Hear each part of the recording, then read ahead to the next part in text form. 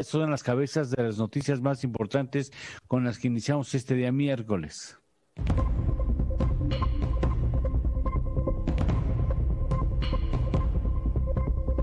La OCDE pide a México regulaciones estables para atraer inversiones.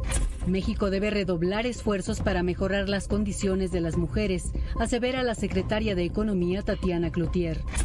Producción de vehículos pesados cae 19% en febrero, informa la AMPACT. Sader asegura que la exportación de productos a Asia es clave para diversificar el comercio mexicano.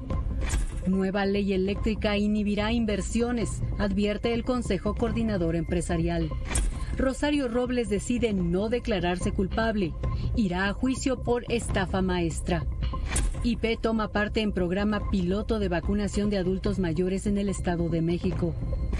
México recibe otras 600.000 dosis de vacuna anti-COVID de Pfizer. Marcelo Ebrard informa que el gobierno pactó compra de 22 millones de dosis con China.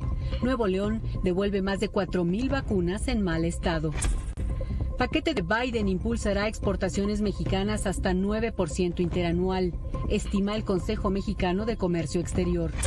Plan de rescate impulsado por Biden incluye apoyos directos para las familias y extiende pago de subsidios por desempleo hasta septiembre. China lanza pasaporte sanitario para viajes internacionales. Estados Unidos y Europa lo analizan.